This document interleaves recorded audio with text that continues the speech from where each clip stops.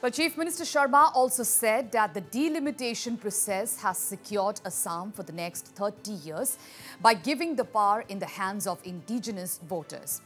He added that 96 seats have been secured under the process. মই যেতিয়া ninety six কনষ্টিটুৱেঞ্চিৰ কথা কৈছোঁ মই কৈছোঁ যে দুশ তিনিশ বছৰ অসমত বাস কৰি থকা মানুহৰ কাৰণে সুৰক্ষিত এই সমষ্টি so ninety six constituency Brahmaputra ভেলীৰ কাৰণে আৰু নাইন কনষ্টিটুৱেঞ্চি বৰাক ভেলীৰ কাৰণে বৰাক ভেলীৰ খিলঞ্জীয়া মানুহৰ কাৰণে থ্ৰ' ডিলিমিটেশ্যন ছিকিউৰ্ড হৈ গ'ল তাৰ লগতে উইথ দিছ আলফা একৰ্ড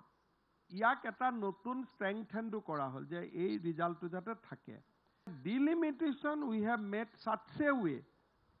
যে এতিয়া আৰু অসমত at least for a long period of time political power cannot be disturb এক প্ৰকাৰ একো একোটা ফ'ৰ্ড হেজ বিন ক্ৰিয়েটেড আজি বৰপেটাত আপোনালোকে চিন্তা কৰিব পাৰে যে eighty seven percent of the people are now voter of Barpeta সমষ্টি who has lived Assam for last 200 years. Clause six কমিটিয়ে কয় চিট ৰিজাৰ্ভেশ্যন কৰি দিয়ক অসমীয়াৰ নামত চিট ৰিজাৰ্ভেশ্যন কৰিলোঁ ভোটটো যদি অসমীয়া নহয় চিটটোৱে কি কৰিব কিন্তু ডিলিমিটেশ্যনে ভোটাৰো অসমীয়া কৰিলে বিধায়কো অসমীয়া কৰিলে। চ' নাইণ্টি ছিক্স সমষ্টিত মই নাইণ্টি এইট কওঁ কিন্তু in the process of time দুটা সমষ্টি নোহোৱা হৈ যাব। নাইণ্টি ছিক্স সমষ্টিত এটলিষ্ট ফৰ থাৰ্টি ইয়াৰ্ছটো আমি আৰামত আছোঁ।